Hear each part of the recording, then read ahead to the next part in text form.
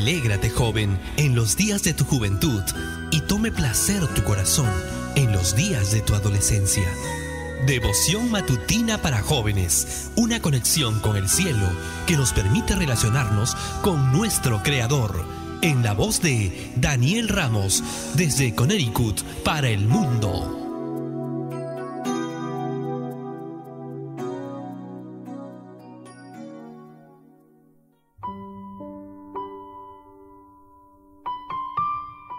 Un feliz y bendecido miércoles para cada uno de ustedes.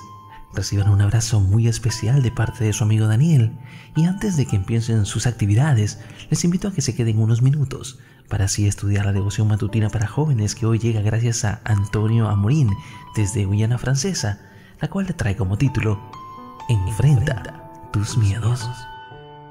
El texto bíblico lo encontramos en 2 de Timoteo 1.7 y nos dice, pues Dios no nos ha dado un espíritu de temor, sino un espíritu de poder, de amor y de buen juicio.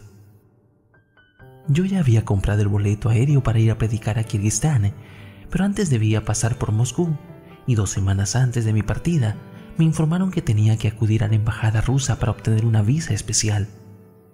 Ya no había plazas disponibles para cambiar la fecha del vuelo, sobre todo porque tenía que hacer los trámites oportunos en París.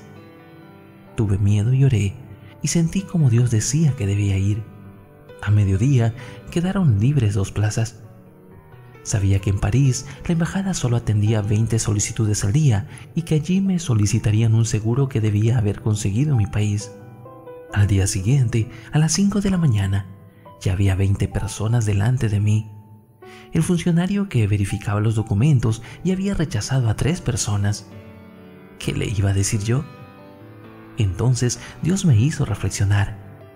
¿Me crees cuando te digo que estoy contigo? Entonces responde, sí, tenemos los documentos. Y eso fue lo que dije. Inmediatamente el funcionario me entregó un pase, sin ni siquiera verificar mis documentos, pues estaba deseando deshacer la fila que había detrás de mí. Yo seguía orando y en ese momento me di cuenta de que en mi tarjeta bancaria, la de poste decía seguro de viaje. Telefoné al número indicado y la señorita me respondió que supondría tres días contactar con la agencia en Guyana Francesa y realizar las gestiones. Pero después de insistir, me pidió que le indicara un número de fax. Alguien me dictó los números que yo repetía al teléfono y cuando llegó mi turno, el recepcionista se enojó porque no disponía del seguro.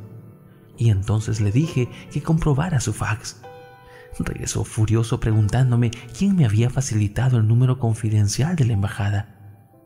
Inexplicablemente, después de leer el fax, se calmó cuando me preguntó si era pastor de la iglesia adventista y me entregó el visado. En Kirguistán prediqué en inglés.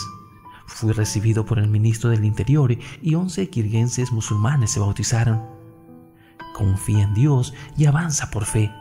Él te hará ascender por las montañas más altas y vencer a los mayores gigantes. Su espíritu hará desaparecer tu temor y te colmará de poder, de sabiduría y de amor. Sabes, querido joven, para Dios no hay nada imposible. Deposita tu vida entera en sus manos. Nos vemos.